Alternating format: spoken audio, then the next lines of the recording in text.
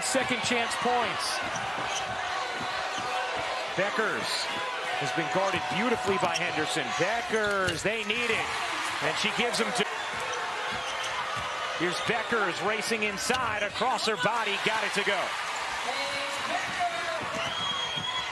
Bueckers, the Minnesota kid, wheeling through traffic, will fire. Oh my goodness! What a highlight from Paige Bueckers. Similar thing happened with Connecticut at the end of their game against Stanford.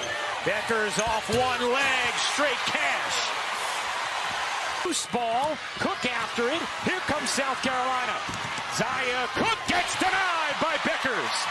Henderson able to save it, and another chance here for the Gamecocks. What pursuit by Paige Bueckers it looked like in the two-on-one South Carolina. Much the same they started the first. Backdoor, Bueckers gets loose for two, and those are the first points of the half for UConn. Here's Bueckers. She might have to do it herself. Bueckers bounces. Edwards able to finish. Bueckers finds some here and knocks down the triple. Back-to-back threes from...